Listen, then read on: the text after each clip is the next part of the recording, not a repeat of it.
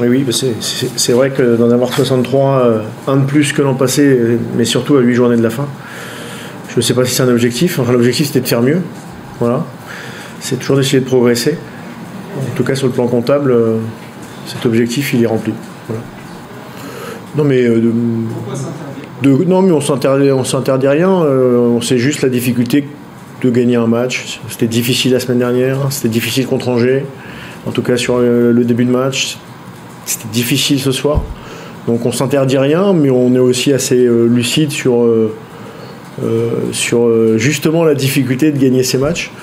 On va essayer. moi, ce, que je veux, c'est qu'on joue avec personnalité les huit derniers matchs, quelle que soit la pression, euh, quelle que soit.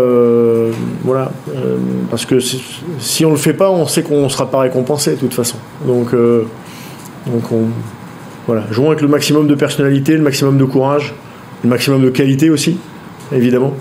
Euh, et puis après, euh, euh, je, je crois que si on doit obtenir quelque chose sur notre saison, bah, pour l'instant, on le mérite. Je dis bien pour l'instant, on le mérite au bout de 30 journées.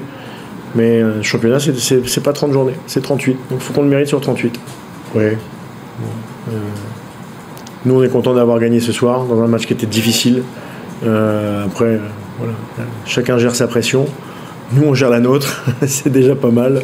Et après, le reste, euh, je crois que chacun, chacun fait ce qu'il a à faire.